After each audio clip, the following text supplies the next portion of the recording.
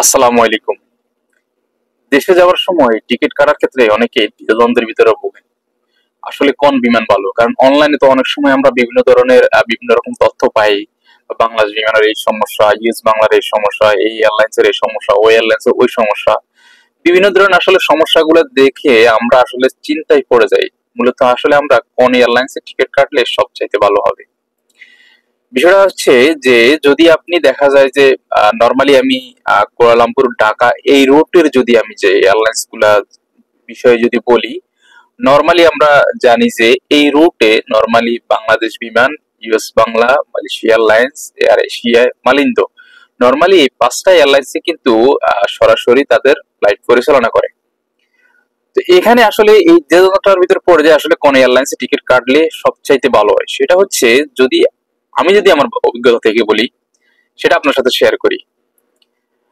যদি এই রুটে যদি আপনি যদি আসা যাওয়া করতে চান বা আপনি দেশে যাওয়ার সময় বা দেশ থেকে আসার সময় যদি টিকিট কাটতে চান, তাহলে সেই ক্ষেত্রে যেহেতু যারা মালয়েশিয়াতে থাকেন, যারা সাধারণ প্রবাসী বাইরে আছেন, তাদের নর্মালি কিন্তু ব্যাগেজ বা দেশে যাওয়ার সময় অনেক মালামাল নিতে হয়।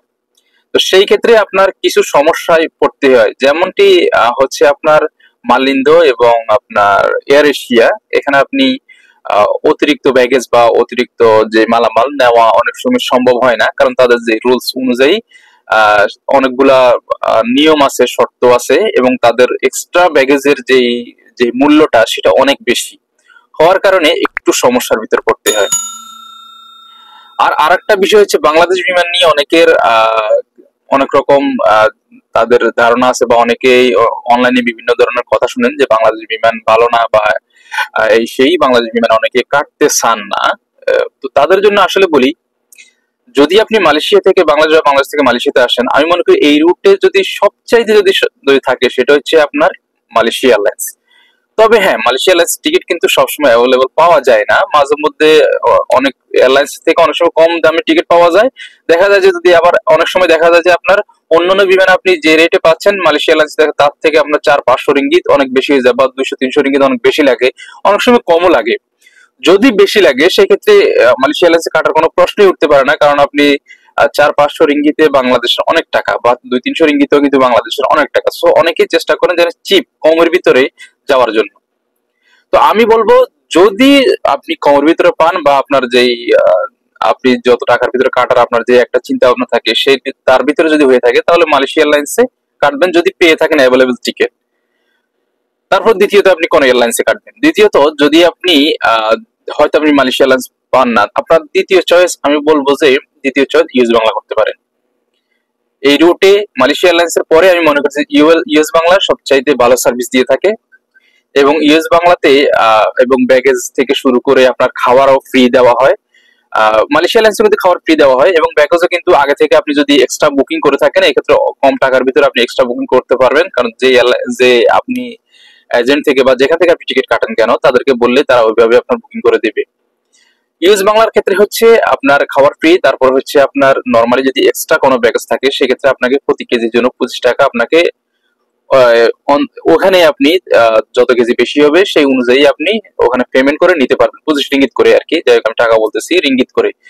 এক্সট্রা দিয়ে আপনি এক্সট্রা যে ব্যাগেজ কারণ নর্মালি তাদের যে ব্যাগেজ থাকে সেটা হচ্ছে সাত কেজি এবং পঁয়ত্রিশ কেজি। এই ব্যাগেজ নর্মালি থাকে। এর এক্সট্রা হলে আপনি, সেক্ষেত্রে আপনি যে প্রতি কেজিতে পঁচিশ রিঙ্গিত করে দিয়ে আপনি নিতে পারবেন। ওকে এখন আপনি মালয়েশিয়া এয়ারলাইন্স পেলেন না ইউএস বাংলা পেলেন না। তাহলে আপনি চেষ্টা করবেন বাংলাদেশ বিমান কাটার জন্য। আমি মনে করি তিন নাম্বারে যদি আমি যদি বলা হয়, তাহলে আমি বলব বাংলাদেশ বিমান। বাংলাদেশ বিমানও সেম ইউএস বাংলার মতো। একই তাদের নিয়ম, পঁয়ত্রিশ কেজি, সাত কেজি, অনেক সময় চল্লিশ কেজিও থাকে। সেটা নির্ভর করে ওদের সিস্টেমের উপরে, ওদের ওরা কখন, কোন টিকিটে কত কেজি করে দেয় সেটা। নর্মালি পঁয়ত্রিশ কেজি, সাত কেজি থাকে। এক্সট্রা কেজির জন্য যেমন ইউএস বাংলাতে পঁচিশ টাকা পঁচিশ রিঙ্গিত করে দিতে হয়, এদেরও পঁচিশ রিঙ্গিত। ওইখানে স্ট্যান্ড বাই আপনি যত কেজি বেশি হবে, হিসাব করে আপনাকে ওখানে পেমেন্ট করতে হবে।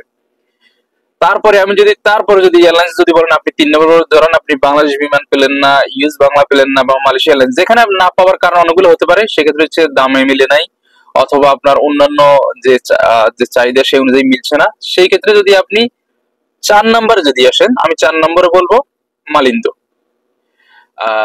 মালিন্দাতে যদি আপনি কাটেন মালিন্দাতে নিয়ম হচ্ছে আপনার খাবার কিন্তু ফ্রি পাবেন না, খাবার আপনাকে কিনতে হবে।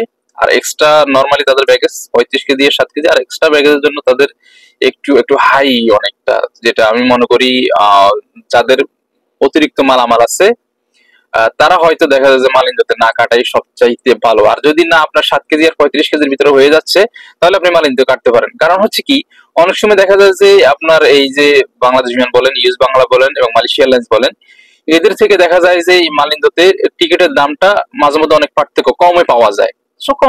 গেলে আপনি যদি কমের ভিতরে পান, আপনার যদি ব্যাগেজও কম থাকে, নির্দিষ্ট পঁয়ত্রিশ কেজি, সাত কেজি ভিতরে হয়ে যায়, তাহলে আমি মনে করছি মালিন্দ কাটা উচিত। তারপর যদি আপনি পাঁচ নাম্বার যদি আমি বলি, সেটা হচ্ছে আপনি এয়ার এশিয়াতে কাটতে পারেন।